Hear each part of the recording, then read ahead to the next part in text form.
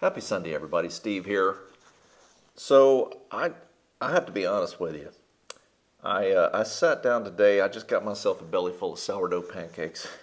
Maybe that's what did it. But um, I, I have gone. Usually I go through the week, and I, I, read. You know, I have this devotional that uh, that uh, this is, was Bucky's old devotional book, Martin Luther's uh, stuff, and and between reading the Word and and this devotional book, I usually the Lord puts something on my heart, you know, or learned something, or I'm particularly inspired or shown something, and and I, and I'll and I'll do these Sunday devotions. And I sat down today and and also as, as I go along and I read, I'll, I'll, I'll have some ideas or, or Lord will put some on my heart and I'll write it down. And I just, I had, I had nothing this week. And I was walking along the other night, going to the gym or something, and I was thinking, funny of all things, I was, well, I was thinking about Arlene. And I was, you know, missing her. It's, I just realized it's been two months since I've seen her uh, outside of Zoom, of course. But but um, and I was just thinking about how much I love her, and and then I was thinking, and I just it's just that that still small voice, you know. The Lord just just put that on my heart, like, you know. That's that that love right there is is between us times 10 between myself and, and god and, and I was thinking, and that's, you know, I believe that, Peter said that, that, that, that nature testifies of God, everything. Everything, you know, testifies of the Lord and, and, you know, love between a man and a woman is a beautiful thing created by God, and and it and it it is a reflection of of His relationship with us. And I and I was thinking about that, and it moved me, right? So I, I was thinking about that, I'm like, oh, that's that's good. You know, I'll have to talk about that. And I just, but but nothing really kind of came. And uh, so I'm I'm looking through this morning, and uh, I'm I'm looking at this, looking at that old notes and stuff, just nothing. And I'm like, well, let me let me talk about an old psalm that that I that I particularly like. And I'm like, well, I'll read my favorite psalm, Psalm 91. And I'm like, have I done that one already? And I went back and I looked at the channel. You know, you know when when you talk about typing something in, you always do that. You notice that? or I called him and was talking. I just we tease each other all the time at work. We go. So I sent an email the other day, and we go, "Oh, you did." So, anyway, I do it too.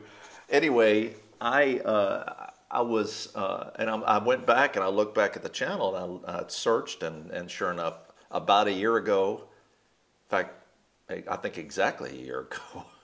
I did. I talked. I read the 91st Psalm, and then I, I was looking also at the channel, and Bucky had done the same thing. I'm like, well, I can't. Okay, I can't do that one again. And I'm like, well, I always loved Psalm 18, and this this particular one. When I was at the Citadel, um, going through.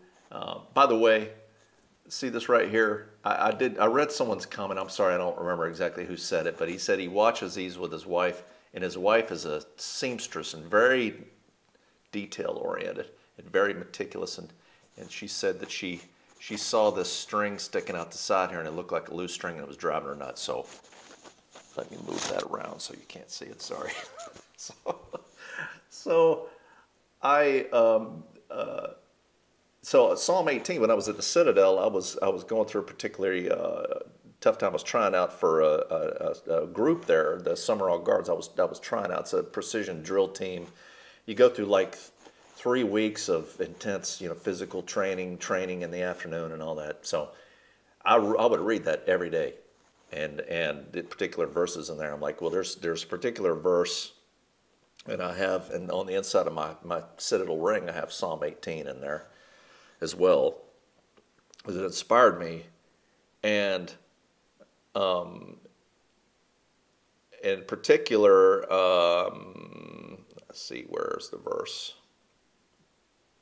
Um, you know, the Lord is, uh, verse 2, the Lord is my rock, my fortress, and my deliverer. My God is my rock in whom I take refuge, my shield and the horn of my salvation, my stronghold. I called to the Lord who is worthy of praise and have been saved from my enemies. The cords of death entangled me, the torrents of destruction overwhelmed me, the cords of the grave coiled around me, the snares of death confronted me. In my distress I called to the Lord. I cried to my God for help. From his temple he heard my voice. My cry came before him into his ears. The earth trembled and quaked, and the foundations of the mountains shook. They trembled because he was angry. Smoke rose from his nostrils. Consuming fire came from his mouth. Burning coals blazed out of it. He parted the heavens and came down. Dark clouds were under his feet. He mounted the cherubim and flew. He soared on the wings of the wind. He made darkness his covering, his canopy around him. The dark rains, clouds, the dark rain clouds of the sky out of the brightness of his presence, clouds advanced, with hailstones and bolts of lightning. The Lord thundered from heaven, the voice of the Most High resounded. He shot his arrows and scattered the enemy. With great bolts of lightning, he routed them. The valleys of the sea were exposed, the foundations of the earth laid bare at your rebuke, O Lord, at the blast of breath from your nostrils.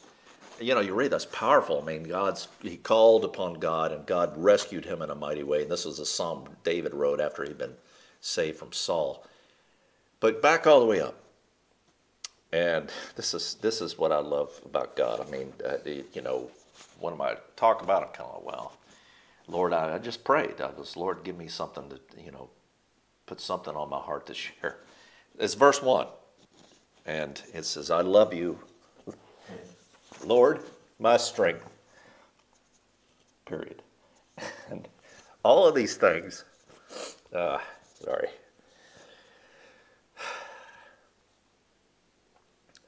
you know, God moving in a mighty way in his life. And David starts this off.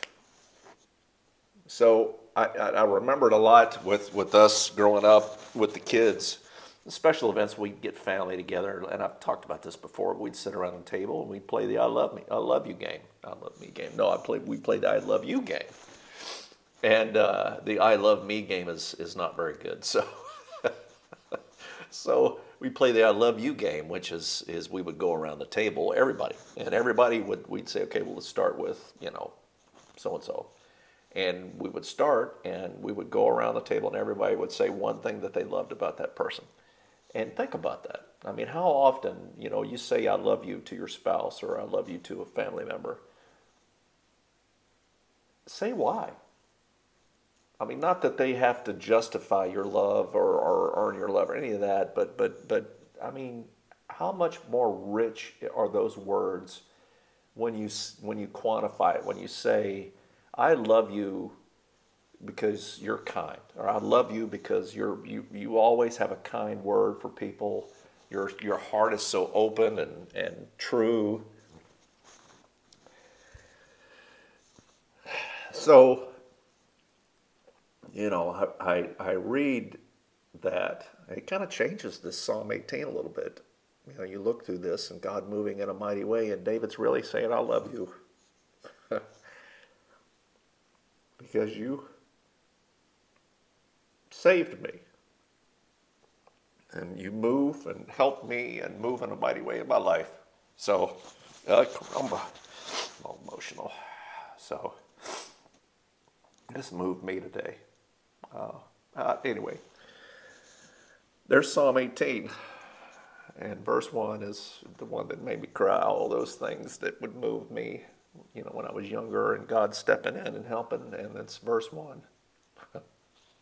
so just wanted to share that with you today. Hope you have a great day. And uh, we'll see you next time. Take care.